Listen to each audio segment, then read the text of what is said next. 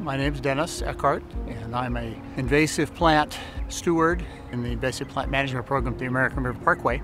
I've been doing this for about 10 years now. Decided I needed to find a volunteer activity for uh, my retirement years and wanted to be outside and on the parkway. I've been living in Carmichael for about 40 years or so and really wanted to do something that made a difference down here on the parkway. An invasive plant is basically a plant that's not a native to this area. It has the ability to reproduce quickly and basically takes over for all the, uh, all the other plants that have been here for hundreds and sometimes thousands of years. Primarily we go after the, the smaller plants, the medium-sized plants that are, uh, can be attacked by a group or an individual in a particular area, basically pulling them out at the right time of year. If they're pulled too late, they'll still release their seeds, so you have to pull them uh, early enough that they won't pop back up, but they also will die as you leave them out on the ground. Okay, this is a Spanish broom plant. Very stiff bristles, uh, hard and pointy, and it gets pods on it about two or three inches long. During the wintertime, what we attack to a great extent is called Spanish broom. It's also in the pea family, but it's got a much tougher root to pull, and so we have tools like this. This uh, is a weed wrench. Works basically like the lever. You put the jaws around the base of the plant, and then uh, pull back on the handle. The jaws come together around the, the root and it kind of levers it out of the out of the ground. It's a very useful tool and it works on most of the of the Spanish broom. This time of the year, Spanish broom, because the ground is so hard, not a lot of rain, uh, the Spanish broom is green and uh, it's the root is really long because it's trying to find whatever moisture is left in the soil. We try to get the root out because then the, the plant will not resprout the ground. It's a, that's a good two and a half, three feet. So it's been down, it's been down trying to get water.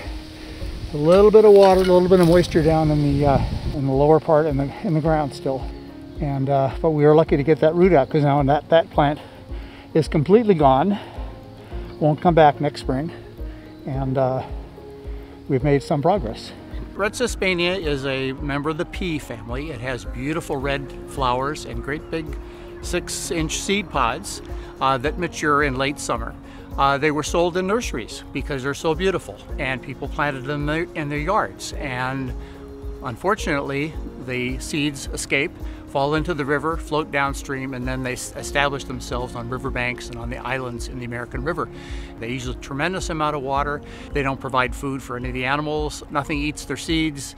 They're not nesting sites for birds. They're just a problem on the river. They also impede the water flow because they get so thick and uh, other things, branches and other things get caught in them and it slows the, the flow of the river and causes spread flooding, which is something we don't want. We want the river to flow freely and naturally. If we didn't have an invasive plant management program of some kind, there would be a tremendous proliferation of these invasive non-native plants. We would have a, a much poorer resource. Uh, we would lose a lot of the plants and probably some of the animals that frequent the parkway and that depend upon the native plants and that's really the importance. We've done a lot. Uh, we've gotten made a lot of progress in some areas, but there's a lot more to do.